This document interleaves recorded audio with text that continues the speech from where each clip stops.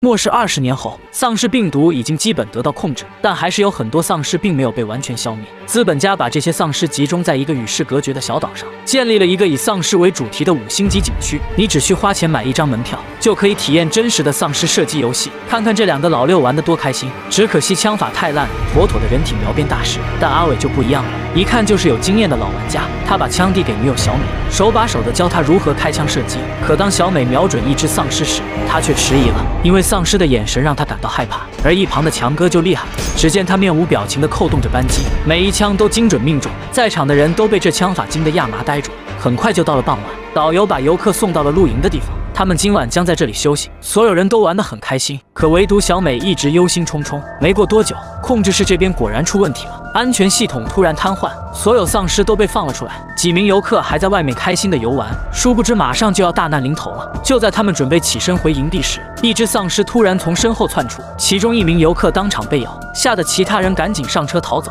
丧尸冲进娱乐场所，现场顿时变成了人间炼狱，所有人都在疯狂的逃窜。眼看事态已经失控，控制室的技术人员立马开溜，可刚走到门口，就和丧尸迎面相撞。大批的丧尸冲进控制室，怂姐怎么都没有想到自己苦。心经营的度假村会变成这个样子。然而就在她懵逼的时候，一只丧尸似乎认出了她，指着他骂骂咧咧。看来这只丧尸很记仇啊！怂姐哪里见过这种场面，赶紧跑进屋里躲了起来，也不管外面员工的死活。不过好在暂时安全了。而小美这边还在露营，浑然不知危险正在悄然逼近。就在她与阿珍聊天的时候，阿珍突然面色凝重。小美转身一看，次奥竟然是一只丧尸，不是被关起来的吗？为什么会出现在这里？没杀过丧尸的阿珍迟迟不敢开枪。好在强哥及时干掉了丧尸，游客还以为是度假村安排的特别节目，可导游却感觉不对因为他们从来不会这样做。只见他打开车顶灯一扫。发现四周到处都是丧尸，众人这才意识到事情的严重性，随即开枪射击。导游想开车离开，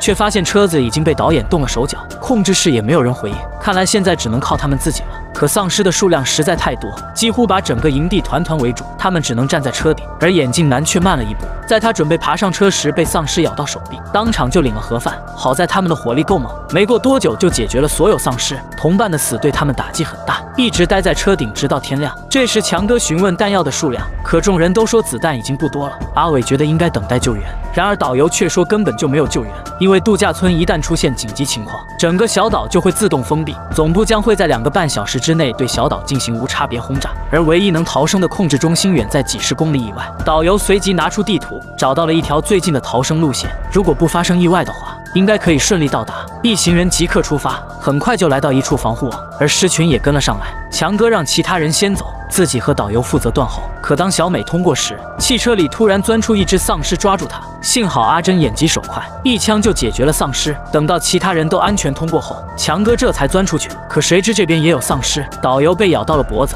还没等众人反应过来，阿伟就一枪送走了他。这样的举动把小美吓得不轻。阿伟本想解释，可小美觉得他太残忍，而强哥却认为阿伟做的没错。末世之下就是如此，小美也只能无奈的笑一笑。经过长途跋涉，他们终于看到了控制中心。可当他们穿过一栋废废弃的建筑时，突然听到丧尸的嘶吼声，众人被吓得菊花一紧，赶紧躲进一间房子压压惊。眼看一大批丧尸正在逼近，他们必须尽快离开这里。强哥率先出发，确认安全后，阿伟和小美紧随其后。可等到阿珍和小帅时，狮群已经接近过道。无奈之下，他们只能暂时分开行动。两人绕开狮群，来到后门，却看到门口有一只被绑住的丧尸。阿珍安全通过，可轮到小帅时，丧尸突然醒了过来。阿珍虽然拼尽全力将小帅救了下来，但自己却被丧尸咬了。他知道被咬的后果，为了不连累大家，阿珍选择直面狮群。等待已久的三人终于看到了小帅的身影，可他的身后却跟着一大批丧尸。三人迅速穿过栅栏，等到小帅成功进入，小美便立即关上铁门。众人惊险的逃过一劫。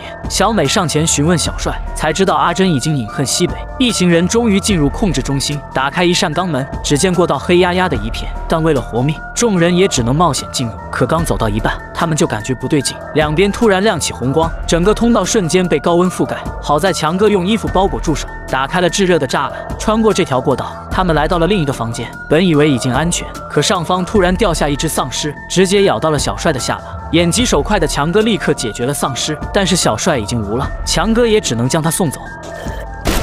现在就只剩下三个人，他们来到下一个房间，这里的空间很大，里面有很多帐篷。原来这座岛在变成度假村之前，曾是收留难民的地方。怪不得岛上会有源源不断的丧尸。资本家为了让度假村继续运营，不惜让难民都变成了丧尸，简直就是丧心病狂。就在他们商量着将事情公之于众时，帐篷里突然出现大量的丧尸，三人只能再次折返。强哥刚想关上门，就被追上来的丧尸卡住了。小美见状，赶紧上前帮忙，可阿伟却顺着锁链爬上去，头也不回的溜走了。小美终于看清了这个男人，可这样下去，两人都会没命。强哥叫小美赶紧走，自己随后会跟上。可当他爬上去之后，强哥却选择了留下，因为他知道自己走不了了。还交代小美一定要将度假村的事情公之于众，接着便放弃了抵抗。留给小美的时间已经不多了，还有十六分钟，控制中心就会爆炸。小美捡到一把手枪，跟着箭头的方向来到了办公区域，可这里也被丧尸攻占。正当小美准备冲出去时，阿伟突然出现在门口，他赶紧关上门，然后跟小美道歉。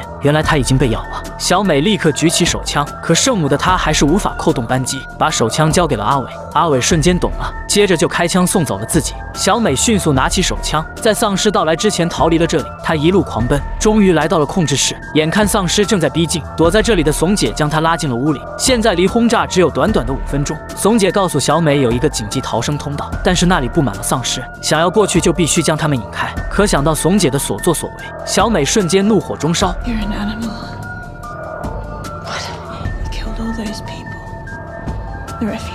眼看小美不配合，怂姐想抢走她的手枪，不料两人在争抢中制造的声响吸引了外面的丧尸。怂姐刚拿到手枪，就被破门而入的丧尸当场撕碎。小美则趁机朝逃生通道跑去。轰炸倒计时结束，她终于跑出了控制室，而身后是成群的丧尸。接到轰炸任务的飞机随即赶到，炸弹如雨点般落下。危急时刻，小美纵身一跃，跳进大海。他转身一看，发现整个小岛已经变成了火海。救援的直升机发现了他，小美被带回了城市。在电影的最后，他将度假村的事情公之于众，得到了社会的高度关注，难民营也得到了妥善安置。然而，一切都已经太迟了。